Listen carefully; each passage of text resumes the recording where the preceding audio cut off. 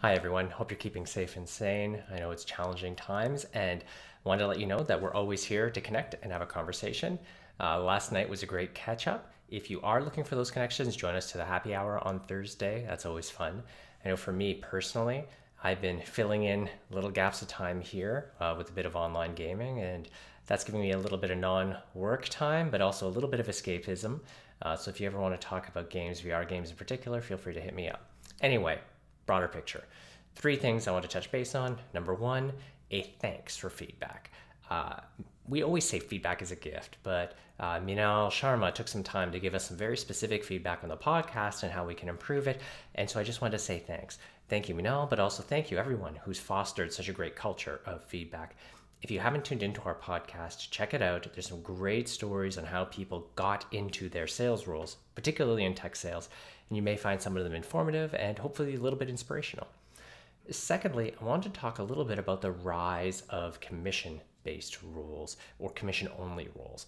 One of the things that I'm starting to see slide into conversations is more tech companies looking at and considering commission only rules or commission only sales development or internships.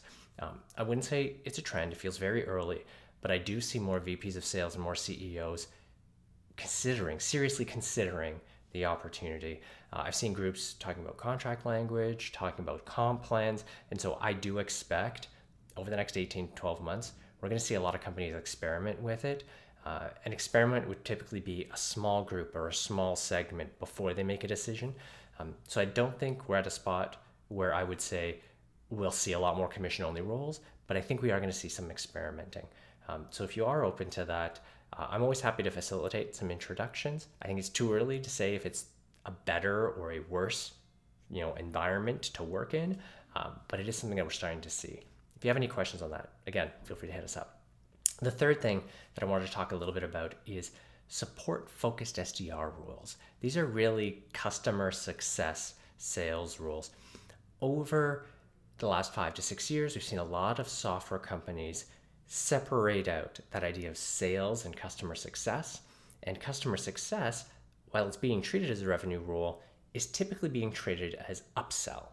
So the sales organization closes a deal, brings it in over the next period of time. Customer success makes that client successful and raises revenue from them. Uh, what I am starting to see is a number of software companies, particularly those with freemium products, where because of the current environment, their free product has exploded with usage and they don't have a service or a customer success organization that can really cost effectively make them successful. A lot of these companies are looking at SDR roles that have more of a customer success bent. So I think we're going to see a lot more rules that have an SDR style comp plan, like base and variable, but the rule itself is much less about take a lead, book an appointment, and more about take a lead, help them out, qualify, and if appropriate, book an appointment. So it's a little bit of service, a bit of customer success, but driven around revenue. So if you're someone who leans more towards a customer success role and still really enjoys all of that process around qualification, problem solving, and recognizing that upsell there's going to be a whole host of rules that might open up for you. Uh, again, if you're particularly interested in that style of an internship as well, drop me a message because I've had a few tech companies actually reach out specifically about those. The one caveat I would add though is that these are newly imagined rules. And so the actual requirements and some of the comp structures will probably change over time. So, whereas if you were going into a straight SDR role, you have a little bit of cookie cutter expectations and you can manage your own expectations a lot better. Some of these roles are going to be a little bit different and they may change over time. Uh, so I would uh, only go into them if you're going to be comfortable with some of that change and working with a company to make it successful together. So again, thank you again, Minal, for the feedback. We are seeing more commission-based roles, and that kind of customer success SDR evolution is going to be interesting. Interesting to watch over the next 12 months. Either way, hope you're having a fantastic Friday. Have a great weekend. And as always, if there's anything specific you'd like me to hit in these updates, just let me know. Chat soon. Bye.